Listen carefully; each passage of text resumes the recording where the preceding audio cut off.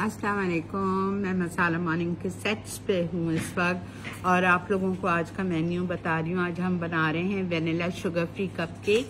और हम बना रहे हैं स्ट्रॉम्बोली तो ये जो बनती है, ये पिज़्ज़ा के डो से बनती है बहुत मज़े का इसका बहुत अच्छा शेप होता है very different and very good for Iftikhar